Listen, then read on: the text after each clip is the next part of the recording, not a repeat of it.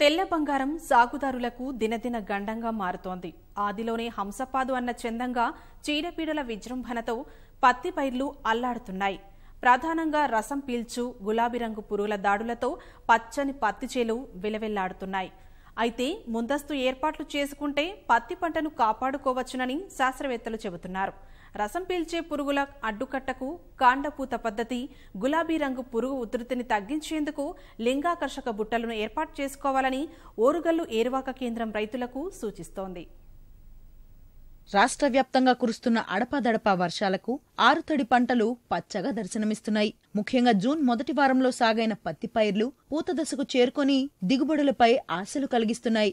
అయితే తొలి దశలోనే రసం పీల్చే పురుగులతో పాటు గులాబీ రంగు పురుగు ఉధృతి పత్తి రైతుల గుండెల్లో గుబులు పుట్టిస్తున్నాయి. ఈ నేపథ్యంలో వరంగల్ జిల్లా ఏరువాక కేంద్రం రైతులకు భరోసా కలిగిస్తోంది. ముఖ్యంగా రసం పీల్చు పురుగులు ఉధృతిని తగ్గించేందుకు కాండం పూత పద్ధతిని ఆచరించాలని హితవు పలుకుతోంది. ఇందులో భాగంగా కమలాపూర్ మండలం గూడూరు గ్రామంలో ఏరువాక కేంద్రం క్షేత్రస్థాయి ప్రదర్శనను చేపట్టారు.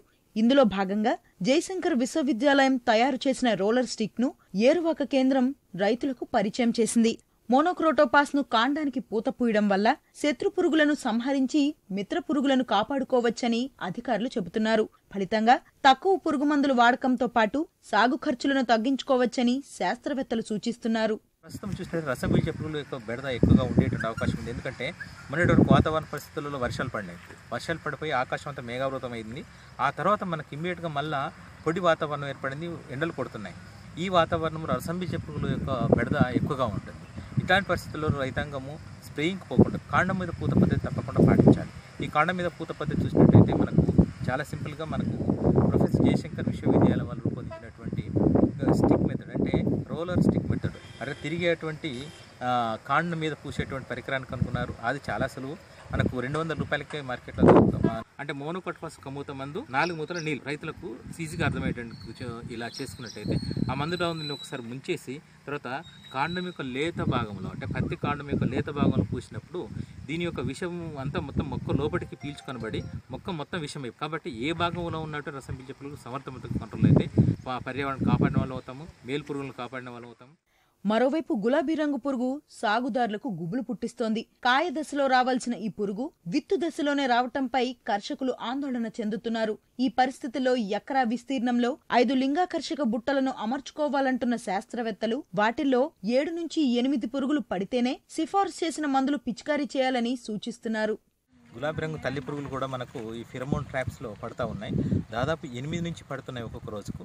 కాబట్టి అట్లా మూడు రోజులు లెక్క తీసుకున్నట్టయితే ఇది దాదాపుగా ఇరవై ఐదు నుంచి ముప్పై పురుగులు పడతా ఉన్నాయి కాబట్టి రైతాంగానికి ముఖ్యంగా సూచించేది ఏంటంటే గులాబీ రంగు పురుగు యొక్క ఉనికిని గమనిస్తూ పురుగు మందులు స్ప్రే చేసుకోవాల్సిన అవసరం ఉంటుంది. ఒక ఎకరానికి లింగాకర్షక బుట్టలు చూసినట్టయితే కంపల్సరీ నాలుగు నుంచి ఐదే లింగాకర్షక బుట్టలు పెట్టి వాటిని ప్రతిరోజు గమనించాలి.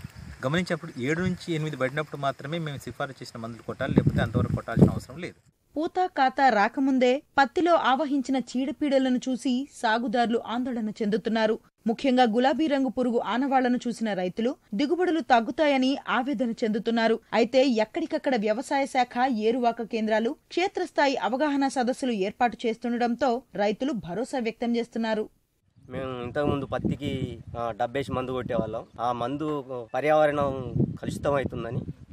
కొత్తగా ఏంది అంటే ఈ స్టిక్ పద్ధతి అనే మందు దాని కాండానికి పోయాలని వాళ్ళు చెప్పడం జరిగింది. దాని వలంగా సమయం ఆదా అవుతుంది మరియు కూల ఖర్చు తప్పుతుంది మరియు డబ్బు ఖర్చు కూడా తక్కువ అవుతుంది ఒక ఎకరానికి పావు లీటర్ తోటి అయిపోతుంది. ఇక్కడ నుండి ప్రతి రైతుకు అవగాహన సదస్సు రోజు పొద్దున మార్నింగ్ సెవెన్ ఎయిట్ నుంచి టెన్ వరకు చూసుకుంటారు పిల్లలు. రోజు ప్రత్యేకంగా చేయడం జరుగుతుంది. మళ్ళీ ఈవినింగ్ సుతా వచ్చి ఫీల్డ్ మీకు వచ్చి చూడడం సుతా పిల్లలు చెప్పడం జరుగుతుంది. మెయిన్లీ మేము ఇక్కడికి వచ్చిన తర్వాత ఎక్కువ గమనించింది ఏంటంటే ఇక్కడ పచ్చదోమ అనేది ఎక్కువ ఉంది అనేసి అంటున్నారు. సో దానికోసం మేము సార్ని అడిగినప్పుడు మీరు చదువుకునే స్టెమ్ అప్లికేషన్ రికమెండ్ చేయండి అమ్మా చాలా బాగా పనిచేస్తుందని చెప్పారు. సో దానికోసం మేము ఫోర్ డేస్ బ్యాక్ కూడా రైతులకు చెప్పడం జరిగింది. ఈరోజు సార్ మేడం వాళ్ళందరూ వచ్చినందుకు ఎక్స్పెరిమెంటల్గా చూ చూస్తున్నాము. And at the same time మేము సార్ మాకు కొన్ని స్టిక్స్ ఇచ్చారు. దీన్ని మేము వీలైనంత వరకు ఊర్లో వీలైనంత వరకు సర్క్యులేట్ చేయడానికి ట్రై చేస్తాం మేము బుక్లో చదువుకున్న దానికన్నా కూడా ఇక్కడ వీళ్ళు కొత్త కొత్త ప్రాక్టీసెస్ నేర్చుకుంటున్నాం మేము వాళ్ళకి నేర్పించడం దానికన్నా కూడా వాళ్ళ నుండి మేము ఎక్కువ నేర్చుకుంటున్నాం అని చెప్పగలుగుతాం? మేము గులాబీ రంగు పు- పురుగుల గురించి చెప్పడానికి అని చెప్పి ఈ ఫిరమోన్ ట్రాప్స్ అంటే లింగాకర్షణ ట్రాప్స్ని పెట్టాము. ఇది ఒక ఎకరంకి మూడు లేదా నా- నాలుగు పెట్టి ఒకరోజు పెట్టినాక next day twenty four hours తర్వాత ఒకవేళ ఎనిమిది కంటే ఎక్కువ ఉంటే అప్పుడు మనం స్ప్రేయింగ్ రికమెండ్ చేయాలి. Neem oil two five ML per litre profenofos two ML per litre పత్తి చేలో చీడపీడల ఉధృతి పెరగకముందే రైతులు ముందస్తు జాగ్రత్తలు తీసుకోవాలని శాస్త్రవేత్తలు సూచిస్తున్నారు. తగు యాజమాన్య పద్ధతులను ఆచరించి మేలైన దిగుబడులు సాధించాలని వారు స్పష్టం చేస్తున్నారు.